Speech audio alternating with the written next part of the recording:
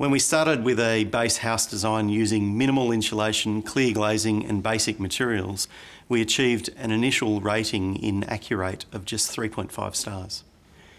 We did the calculations on other floor options um, and as we had a level site, a slab on ground was a much better proposition than a post and beam floor system. We found that slab on ground was cheaper and faster to build while providing thermal coupling with the ground to improve the energy rating of the house. When we substituted the raised floor for a slab on ground, the energy rating jumped to 4.2 stars. Throughout Australia, ground temperature remains fairly stable throughout the day and the night.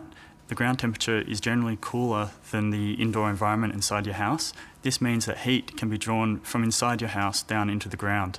This isn't necessarily a bad thing. In warmer climates, this means that you actually get free cooling from the ground. You can do this if you use it with ventilation and you use the cool nighttime temperatures to cool down the thermal mass. And then during the day, when the temperatures rise, your walls, floors, and ceilings will be nice and cool, keeping your house more comfortable during the day. Heavyweight construction is very good at storing energy or storing heat. Constructions that can do this are constructions such as bricks, concrete, and tiles. They can store heat when they have direct sunlight. In winter, they'll store that sun's energy and then during the night time, when the temperatures drop, they can release that energy back into your living space, reducing the amount of energy required to heat your house.